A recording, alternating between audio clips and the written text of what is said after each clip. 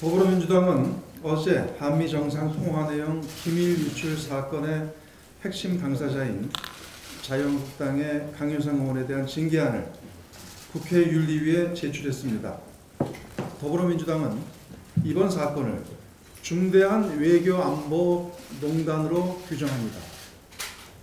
엄중한 외교 안보 상황에서 정상 간 통화 내역을 무단 유출 유포한 행위는 국익을 훼손하고 국가안보에 심각한 위해를 가하는 위중한 범죄입니다. 또한 북핵 문제의 평화적 해결을 위해 노력하고 있는 정부의 노력에 찬물을 끼얹는 행위입니다. 더욱이 외교부 조사에 따르면 강효상 의원은 이번 통화 기밀 유출 말고도 외교 기밀을 두 차례나 더 불법 습득한 의혹이 있습니다. 외교 기밀 불법 유출 행위가 면책 특권의 대상이 될 수 없음은 물론이고 특히 외교 기밀 불법 유출이 명확함에도 불구하고 공익 제보라거나 국민의 알 권리 운운하는 것은 국민을 우롱하는 것입니다. 자유한국당과 강유상 의원은 터무니없는 물타기를 중단하고 국민 앞에 사죄해야 합니다. 자유한국당이 입버릇처럼 주장하는 국가안보를 중시하는 정당이라면 제 식구 감싸기에 매몰될 것이 아니라 강효상 의원에 대한 제재 조치에 적극 협, 협조해야 할 것입니다. 자유한국당의 맹성을 강력하게 촉구합니다. 통계청이 지난 26일 발표한 1분기 가계 동향 조사와 관련해 한 말씀 드리겠습니다.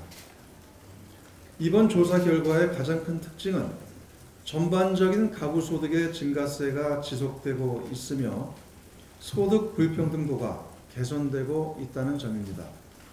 비록 1분위와 5분위의 경우 소득이 감소했지만 1분위의 감소폭이 지난해 4분기에 비해 15.2%포인트나 개선됐고 소득 불평등도를 나타내는 5분위 배율도 1분기 기준으로 지난 2015년 이후 처음으로 개선되는 모습을 보였습니다. 주목할 점은 2분위, 3분위, 4분위 등 전체 가계의 60%인 중간 계층의 경우 소득이 증가세로 전환되었다는 점입니다. 더욱이 지난해 내내 감소세를 이어갔던 2분위 소득이 이번 1분기에선 4.4%포인트나 증가했습니다. 기초연금 인상과 보편적 아동수당 지급 등 정부의 사회안전망 강화 정책이 저소득층의 소득 보완에 효과를 발휘했기 때문입니다. 당정은 이 같은 소득 분배 개선 흐름세를 더욱 강고히 이어나가기 위해 보다 적극적으로 관련 정책을 추진할 것입니다. 실업급여 보장성 강화, EITC 확대 정책 등을 지속적으로 추진하도록 하겠습니다.